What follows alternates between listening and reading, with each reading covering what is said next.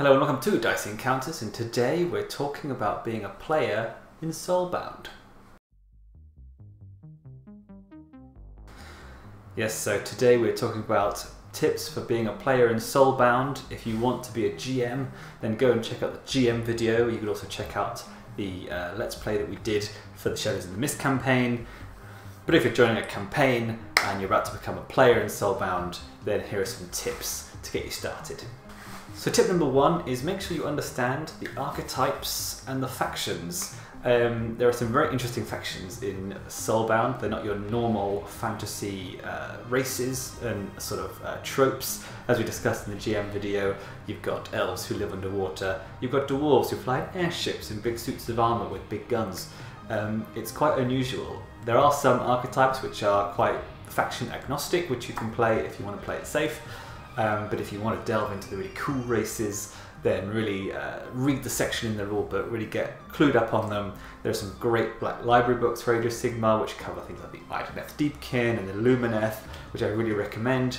Um, also, you will find different characters of those factions within those books. So even if there is a stereotypical style of that archetype, you'll be able to find some more interesting, different characters in there as well. My second tip uh, for being a player in Soulbound is to look at look at short-term goals and long-term goals. Short-term goals will get you one XP per session if you play them enough, which can pretty much double your XP gain over the course of the adventure. Long-term goals can get you 10 XP, which is a pretty big boost. Uh, you can get some fancy new feats and talents and things towards the end of the campaign, which is always nice and narrative. It feels really cool.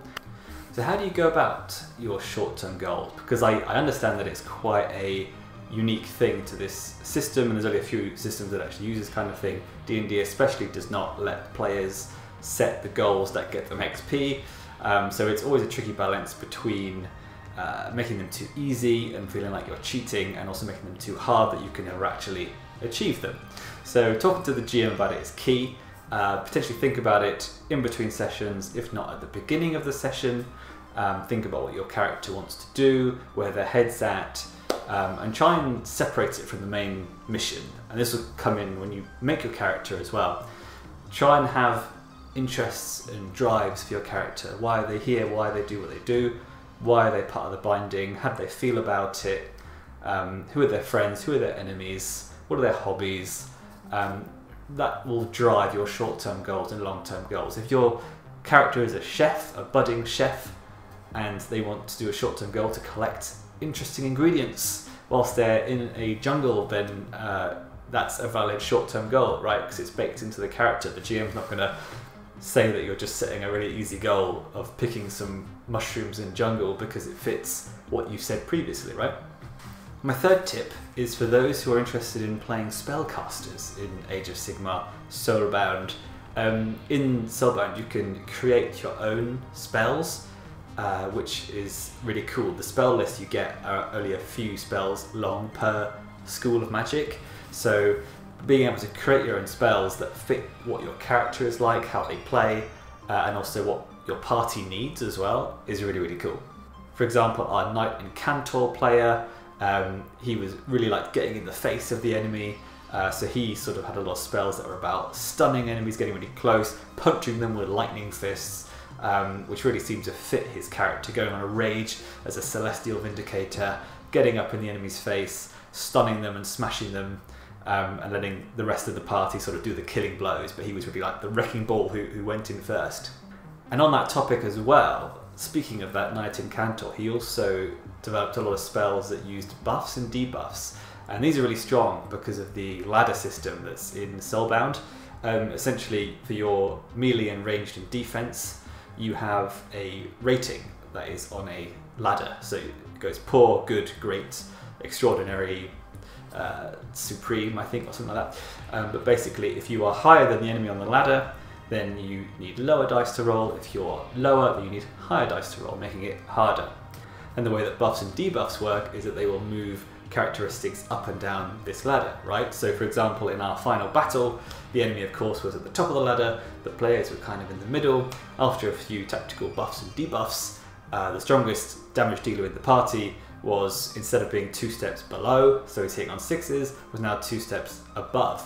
the big bad enemy, so they were hitting on twos. Incredibly powerful stuff. My next tip is to think about party composition.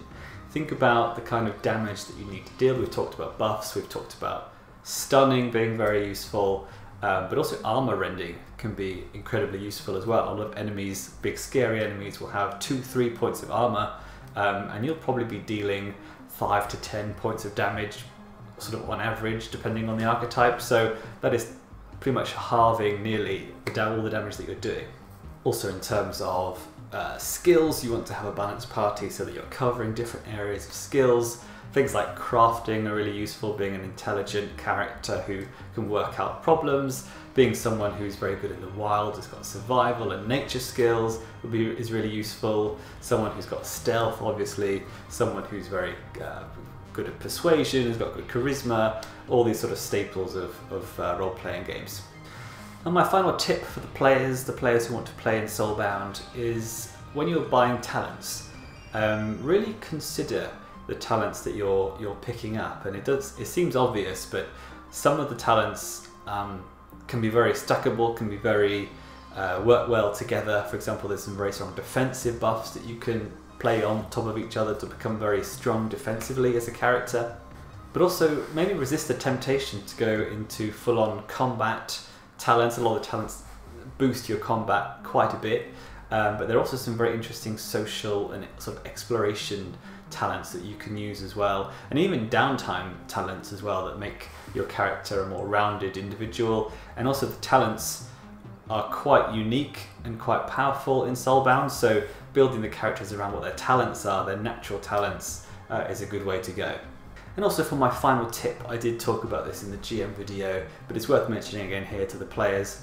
Um, your power level when you start Soulbound is probably about level 5 D&D.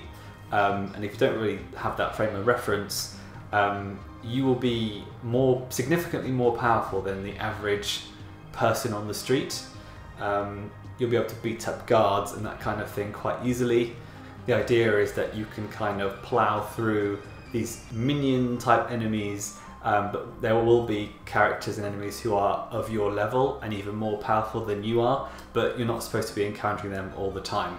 So if you think the game is being a little bit too easy and you think that uh, your character is a bit too powerful um, and you, you sort of want to have, be a bit more challenged, then consider that the GM is just softening you up for a more interesting fight. And that is it. That is my tips for the players of Soulbound. Let me know what you think. And you've got any tips for playing Soulbound? I think it's a really great system. Um, I really liked it a lot. You can watch our Shadows in the Mist run through on this channel. You can watch the GM video if you're interested in being a GM. Maybe you want to be. Maybe you want to start a campaign in Soulbound. Um, I'm looking forward to playing the next campaign uh, very much. And I hope you had as much fun playing it as my group did. Um, and I will see you in the next one.